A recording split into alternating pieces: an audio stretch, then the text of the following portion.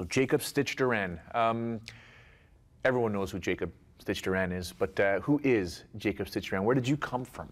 Well, you know, I'm the little farm worker, migrant worker that uh, grew up in the San Joaquin Valley. Uh, I grew up in a migrant camp, and you know, my address CPC camp number 12. You know, so you know, I um, I was in the trenches. I've been in the trenches all my life as a, as a farm worker, uh, but you know, getting out of there, I always had dreams. You know, I was picking cotton or, or, or, picking tomatoes or peaches, and and during all that work, you always everybody has dreams, right? So that gave me a whole lot of time to work, think of what I wanted to do. Uh, baseball was the thing that I wanted to do, and uh, I walked into Merced College, which was a town about nine miles away, but I had no transportation, so I practiced with them for a while, and I just got up and joined the Air Force, and uh, it got me out of the San Joaquin Valley. First time I'd ever been in an airplane, and uh, this was in 1974. They stationed me in Thailand, and I always wanted to be and train in the martial arts. Bruce Lee was a big thing there, and uh, so I studied uh, in Thailand, and uh, that's what got me here. What did you study in Thailand? Uh, well, I started off in Taekwondo. You know, the Koreans were there for the GIs and all that, and then once the Koreans left, the Thais took over, and uh, he was still on contract as Taekwondo, but they kind of transitioned us into the Muay Thai system, and uh, you know, I was certified as a kru, which uh, which was great. And when I got back, I uh, I got into boxing to improve my hands uh, at King's Gym, and trained amateur fighters there, and then. I moved out to the suburbs in Fairfield and I opened up my school of kickboxing uh, ASK, the American School of Kickboxing. I did it just with a credit card. I mean, show you how crazy I was, huh? Uh, but uh, I was real successful. I was the Javier Mendez of those days. I was the guy where the fighters would come to me and, and they would train. And uh, 18 years ago, you know, I had a had my dream to be the best cut man in the business. I was a and when I had my school, I was a trainer, I was a promoter, I was an agent for the guys, I was a man. I did it all. But I wanted to be a cut man, and I uh, got a job transfer. Uh, transferred my school to my students and uh, packed up my family in a U-Haul and I drove to Las Vegas and uh, you know and I knew Dana White. Dana White, myself, Don House, which is the other cut man, we were in the gyms. We are training fighters and you know telling Dana and House how many times has even you Joe, I'm sure you've been through the same steps as how many times your wife says, you know, you got to get a job because this isn't paying the bills, right?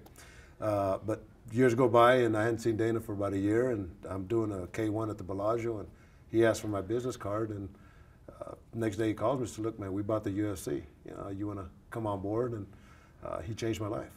When was the moment you realized, I want to be a cut man? I mean, there's got to be something that said, no, I got to help these dudes out. Yeah, that was during uh, you know during my kickboxing days, you know, and uh, I was working with kickboxers plus boxers in out of the Sacramento area, and uh, I just, you know, I, I, saw these veteran cutmen and I try to learn from these guys. And as a matter of fact, one cutman, I asked him what he was doing. He did a great job and, and he told me F off. You know, he said, hey, I'm taking this to my grave.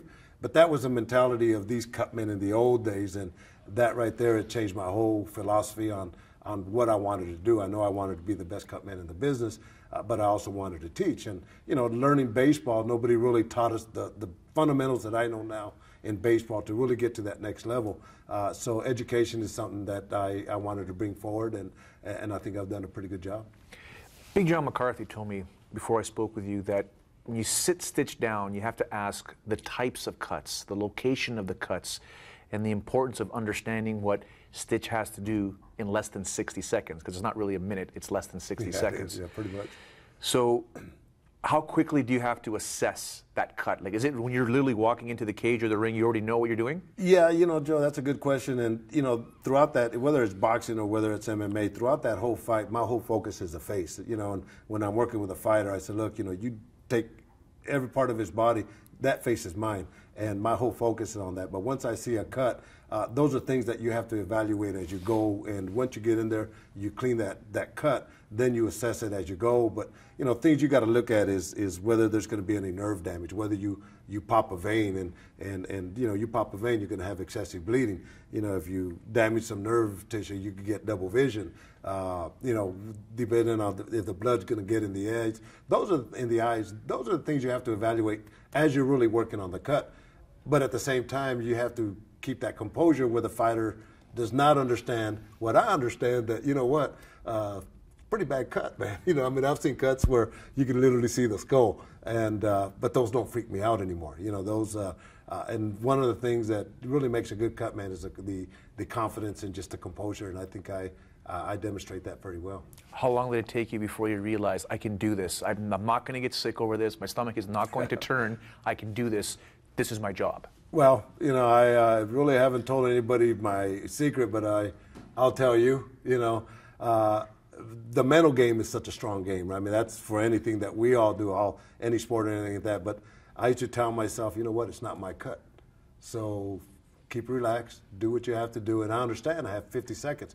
If I could steal five more seconds, I have 55 seconds. But that was my mentality at that point that it's not my cut.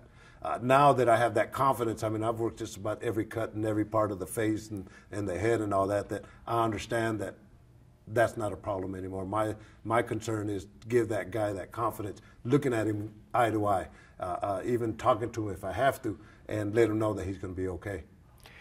You take a look at some of the cuts that you've seen, and, and what I mean. The goal is one more round. That's your theory. Yes. One more round. Uh, have you ever been in a situation where you told the doctor, "Just let me do this. I can do this"?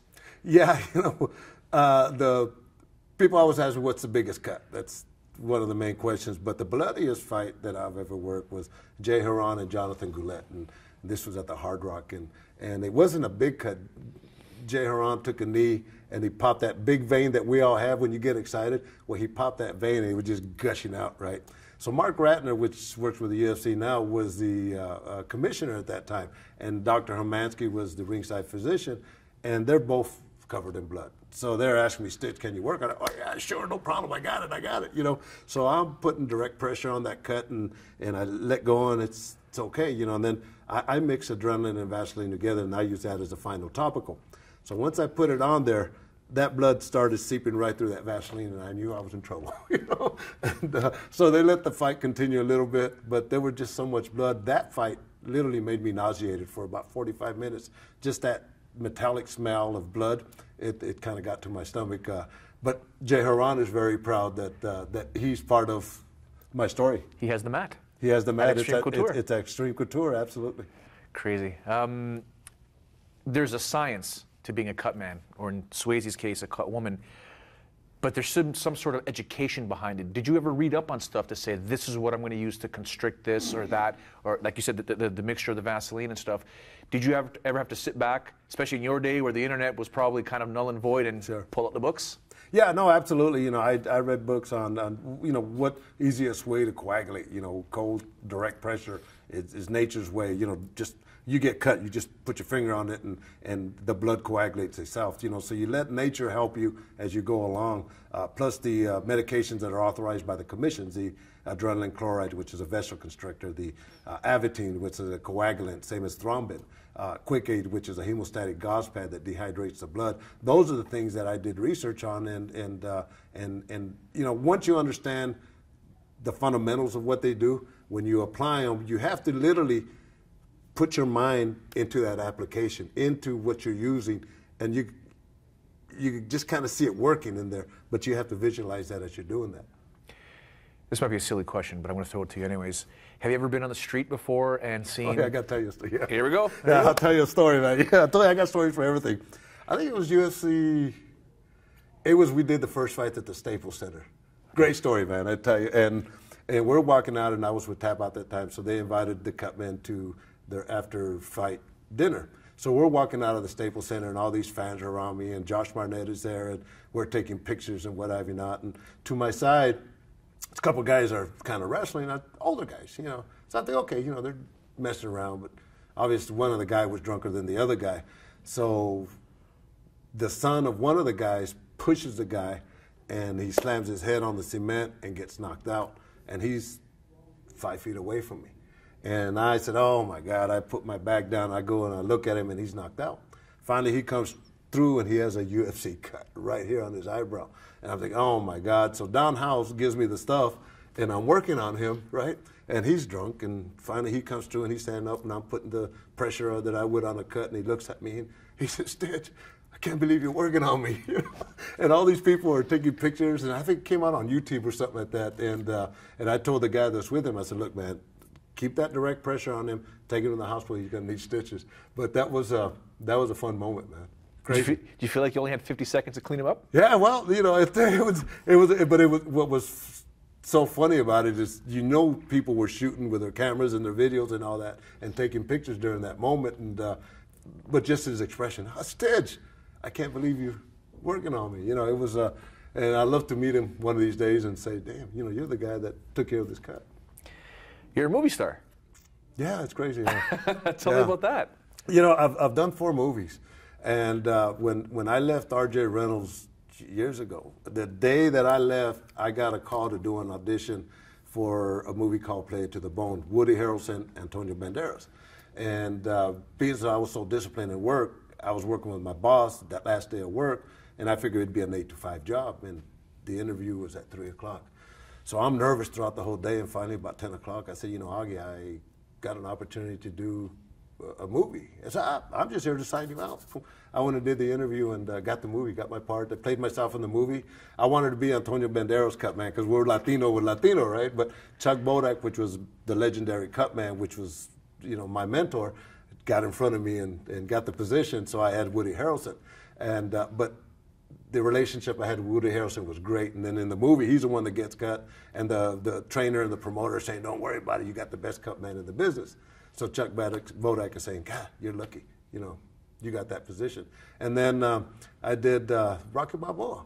You know, they called me. I had a, I had a, I was working with Fabrice Tiozzo, the the cruiserweight champ of the world from from France. And he had a fight scheduled in Paris, and then the week after, I was going to work with Audley Harrison, the heavyweight out of England, that won a gold medal. And I got a call, and at first I said, "No, I can't do it because I have these two fights." And I called my wife at home, uh, at work, and I tell her, I said, "Look, I got the opportunity to do a movie, but I can't do it." She goes, "Are you crazy?" Because Rock is an American icon. You know, you have to do it. And God, I thought there for about 30 minutes, and I literally I was on the computer negotiating with Audley Harrison's people, the fees, the so everything. And for about 30 minutes, I just sat there and I said, you know what, she's right. And I deleted it. And I said, look, man, here's what's happened between our last conversation and now. And they understood. And, uh, and it turns out that Tiozzo's fight got canceled. So, you know, somebody up there likes me. And uh, so I did that. And then obviously, you know, uh, Kevin James, Here Comes the Boom with Bas Rutten. And, uh, you know, that was a great, great uh, time. I had a super time. And I'm ready to do another one, man. You also worked with Kevin James. What was that like? Wow, you know, uh, my wife's a big fanatic fan of Kevin James. So am I. I mean, we see his movies even to now. I mean, the, his, his program. Uh, but when I got, I was doing a fight, and Frank Coraci, who's the director, comes up to me. I, actually, he's in the audience, and he said, "Hey, I want to take a picture with you." Oh no, I want to take a picture of you. I said, "No, let's take one together." I didn't know who he was. He said, "Hey, listen, man, you know, how would you like to be in a movie with Kevin James?" I said, "Yeah, I'd love to." But you know what, man, Kevin James is is a super super guy. And when I told my wife that I got a part in the movie with Kevin James, it was it was a complete honor. And uh, you know, so I, I go to Boston, and and uh, the, the the filming is in Lowell, Massachusetts, which is like 65, uh, 45 minute drive.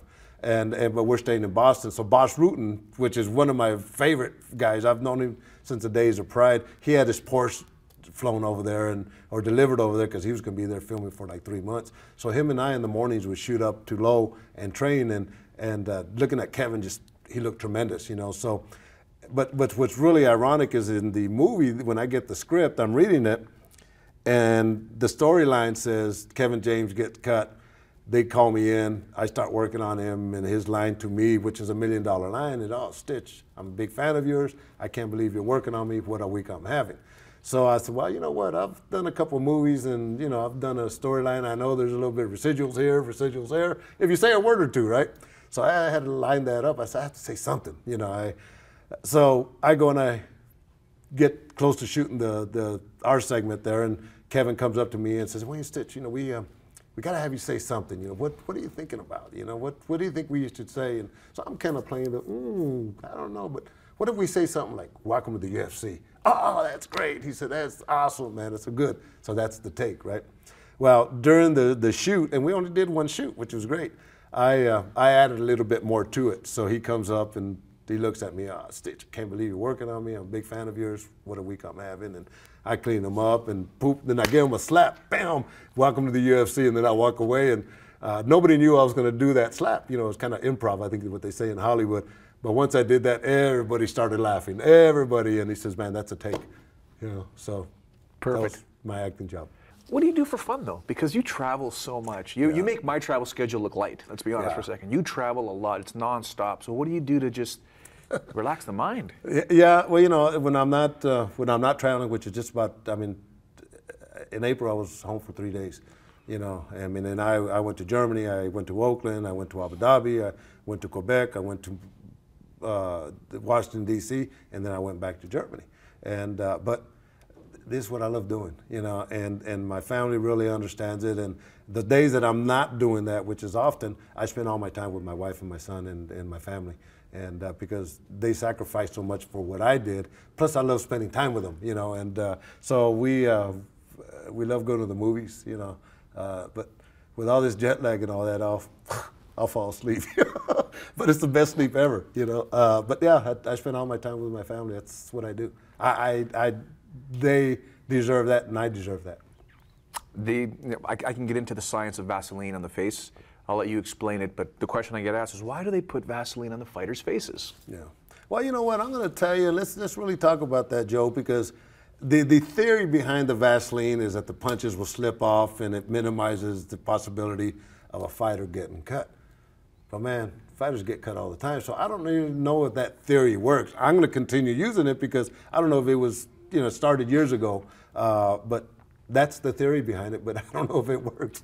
You know, so I don't know. Swayze Valentine. Yes. Your thoughts on Swayze? Uh, you know, it's uh, ambitious, definitely. You know, uh, uh, you know, she definitely wraps a good hand. Uh, you know, and, and it's it's a growing sport, and you know now you know we work with Invicta, uh, so it's it's it's a dual gender type of position. Uh, but you know, she's she needs to get in the trenches and and uh, you know do some work, and you know she's uh, she's worked the smaller events and and all that. But uh, you know, getting into the UFC, what we call UFC cuts, you know, those are a little bit higher than, than you would the smaller ones. But it's gonna it's gonna take some time for her to uh, you know to really master uh, the game of, of wrapping hands is one thing. That's that's 50% of it, but working cuts uh, in less than 50, 55 seconds is, is another one, and that's something she's going to have to master also. She's gone through some some tribulations to, to get where she's at. Sure. Um, are you surprised by that? I'm, I'm personally not because it, it's obviously a male-dominated Sure. uh, industry. But I mean, good for her. Yeah, oh yeah, no, absolutely. Listen, I've gone through them, you know, and I'm a male, you know, and uh, uh, so those are the things that really will make a person thick anyway, thick-skinned, and uh, and I think you know you need that. I'm I'm sure through your growth and where you're at now, you know, you've had people that uh, have tried to knock you down at the knees and all that, but those are things that uh, that we go through that are growing pains, and and if you could withstand that, uh, then then you have a better chance of, of getting to the top. Somebody wants to become a cut man or a cut woman. I get that question asked all the time. And here's my answer to them is, you know, they see what I do and, and, and I want to be like Stitch. I get doctors, I get paramedics, I get uh, nurses, I get just regular fans that want to be cutmen, and I get that question all the time. And, uh, but they don't understand that I've been doing this for like 30 years and I've been in the trenches. But here's what I tell them is number one, you got to spend hours and days and weeks and months and years in the gym being a fighter and learning how to be a fighter and you learn your trait as you go and you and, and you practice you practice you practice you practice. And you have to give for so many years you have to give your time and your effort. And if you do it for the money uh, you do it for the wrong reason you know? So uh, that's the advice i give them and that's how you weed them out. Any fighters out there that when you're assigned their corner, you're like, eh, it's going to be a lot of work tonight. Yeah, there's uh, yeah, there's there's there's been some fighters that uh, you know you kind of punch them here and, and they get cut here. Uh, you know, it, it happened in boxing. You know, there was in boxing I had Raul Marquez and Johnny Tapia and and Rocky Gannon at one time, and Miguel Diaz, which is one of the top cutmen in boxing. He said, you know, you're lucky, you get all the bleeders. You know, but uh, uh, here in, in, in the mixed martial arts, yeah, you know, there's guys that, that you know you're going to work on, you know, and uh, and you prepare for that. So. BJ Penn was a guy that used to never get cut. George was a guy that used to never really swell up. Is there, is there something to say that as as you know the skin should toughen, it should but then you get scar tissues and stuff like that. Can you tell beforehand when as a guy's getting or a girl I guess gets older in their career, it's going to be more difficult to work on them, or at least there's going to be more work for guys like yourself in between rounds? Well, not not necessarily. You know, Anderson Silva, a good example when he fought Chael Sonnen, he took such a beating, you know, early on that in the first round I walk in, I told Ed Soares, you know, I'm going to go and I'm going to just keep him packed the ice in between rounds. And uh, but his texture, you know, he just does it well and all that. But you know what? This game in the mixed martial arts, it it doesn't really skin texture and all that. Yeah, it plays a little bit of a part of it, but it's the elbows and the punches and the knees and the kicks that that really make the difference on on whether you create a cut or not. What do you tell a guy when you're wrapping his hands, or girl when you're wrapping his hands in the corner room because their mind is tunnel vision right now? Oh God, you know, I've had guys. I walk in, I start wrapping their hands. I've had guys cry, and and you know, I don't tell names, but uh, there's guys that, but I understand. You know, as I'm saying, when you're in that field, you have to understand. And you know, this one guy is crying like a baby, and I just, I've started wrapping his hands, and I stopped, and I just, I let him cry, and then I said, look, man, don't worry about it. You know, I'm here to take care of you. And you know, once I finish wrapping his hands, his confidence level gets up there. He gives me a hug. You know, tells me he loves me. Goes out there and wins the fight. You know, but uh, Frank Mir really said it best, and he says, when I see Stitch walking in the dressing room, my stomach just drops because I know it's time to fight. Vitor Belfort says, you know, when I Stitch comes in, whether he's working my corner or not, he brings that calming effect to me, and uh, and I think that's that's what I do. You know, these guys they have a lot of confidence in me, and and uh, I'm I'm like their father, man, when they fight, and uh, and they're my children. It's weird. So the really cool thing about this is the mentality of the fighter as the day progresses, because when Stitch shows up, you know, you put your hands up. Stitch is done. Burt's walking around. We rolling, and you know that when Burt, Yeah. Burt's the horn. Yeah, yeah, yeah. Now Bird is Bird's Yeah. the one that, that pulls like if you're in the, the horse races, you open that gate. He's the one that opens that gate. I'm the one that puts the like the old gladiator days. I'm the guy that puts the armor on them. You know, in the in the dungeon before they walk out to the Coliseum, and uh, that's the new modern version of a modern day gladiator. But that's what I do. You know, I get them ready for battle there's certain different personalities. You know, some guys are tense, some guys are relaxed. Uh, Jon Jones, I go and start wrapping his hands, and uh, I ask him if he wants a knockout wrap or the tap out wrap. He wants the tap out wrap, right? And uh, so I'm wrapping his hands, and he's over there videotaping me. Ah, this is Stitch Duran. He's wrapping my hands, and he's so relaxed and all that. And and then we finish up and all that. And and you know, Vladimir Klitschko's the heavyweight champion of the world, one of the guys I work with. So Jon Jones had always mentioned, you know, I want to fight Vladimir. So I got him on video. I said, well, you know, tell me so I could tell Vladimir, you know. So he's telling me, oh, Vladimir, I want you and all that. But these are the fun things that we do, you know. And, but that's how I relax them, and that's how they relax is by uh, having these little stories like that. Uh, Randy Couture, you know, same thing with him. When I used to wrap his hands, he was such, such a relaxed guy, you know, and just and we would just sit there and, and just talk and, and I'd ask him questions and how you doing and just general conversation, you know. And uh, but I tell you what, man, it's often when I finish wrapping these guys' hand, you can see their confidence level just get to that point where they up there.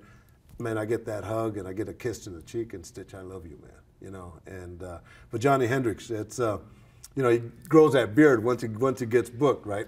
And uh, we're in the dressing room uh, after his fight and and we're talking about it. So I clip a little piece of hair off him. Ah, let me clip some off, you know, all right.